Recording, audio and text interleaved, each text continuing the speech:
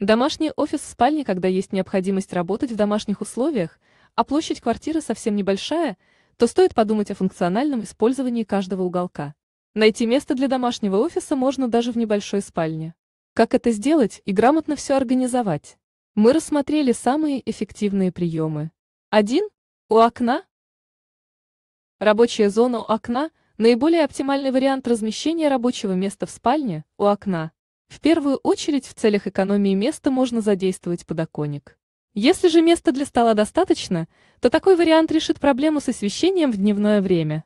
В небольшую спальню лучше всего поставить неширокий стол светлого оттенка. Визуально такая мебель не загромождает пространство. Идеальное место для домашнего офиса. 2. Вдоль одной из стен. Рабочее место в небольшой спальне обычно, в стандартных спальнях одна из стен остается пустующей. Ее также можно задействовать, например, установить тут навесную столешницу или панель со скрытой рабочей зоной, которая складывается и раскладывается при необходимости. Здесь также желательно сделать несколько открытых полок, на которых удобно хранить рабочие принадлежности, канцелярию и книги. 3. Возле кровати. Рабочий офис вместо прикроватной тумбы очень часто по обе стороны кровати ставят тумбы, стандартная ширина которых составляет около 40 сантиметров. Если отказаться от них и поставить около кровати компактный стол, то он послужит прекрасной альтернативной домашнему кабинету. Этот прием позволит использовать площадь спальни с максимальной пользой. 4. В шкафу.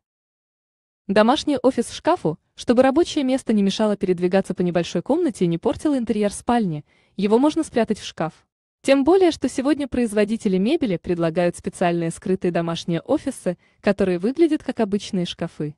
Хорошо, если такой предмет мебели будет выполнен в белом цвете, с глянцевыми фасадами или зеркалами на дверцах, что поможет зрительно увеличить площадь небольшой комнаты. Хорошая маскировка. 5. Практичный гарнитур. Незаменимой вещью в маленькой спальне или квартире-студии станет специальный гарнитур, в который встроена рабочая панель, система хранения и скрытое спальное место, которое в сложенном виде ничем не отличается от платяного шкафа. Всего несколько движений, и такой шкаф превращается в комфортабельную, стильную кровать. Прекрасная трансформация. Практичный гарнитур для небольшого пространства. Одним движением руки шкаф превращается в кровать. Ставьте отметку «Нравится». Благодарю за просмотр видео. Оставляйте комментарии. С вами была Алиса Иванова.